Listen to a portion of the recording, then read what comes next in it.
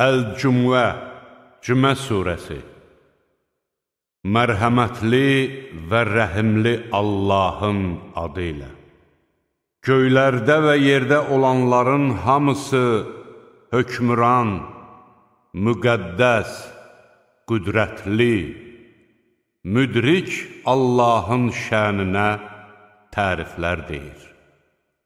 Savadsızlara özlərindən elçi göndərən odur. Elçi onlara Allahın ayələrini oxuyar, onları pis əməllərdən təmizləyər, onlara kitabı və hikməti öyrədər. Halbuki onlar əvvəllər açıq aydın azğınlıq içində idilər. Allah səni hələ müsəlmanlara qoşulmamış, başqalarına da elçi göndərmişdir. O, qüdrətlidir, müdrikdir. Bu, Allahın lütfüdür. Onu istədiyinə verir. Allah böyük lütf sahibidir. Onlara Tövrata əməl etmək tapşırıldıqdan sonra ona əməl etməyənlər, belində çoxlu kitab daşıyan, amma onlardan faydalana bilməyən uzunqulağa bənziyirlər.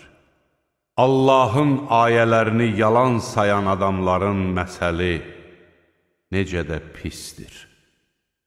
Allah zalım adamları doğru yola yönəltməz.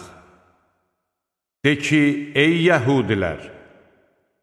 Əgər insanlar arasında ancaq özünüzün Allahın dostları olduğunuzu iddia edirsinizsə və doğru danışanlarsınızsa, onda ölüm diləyin.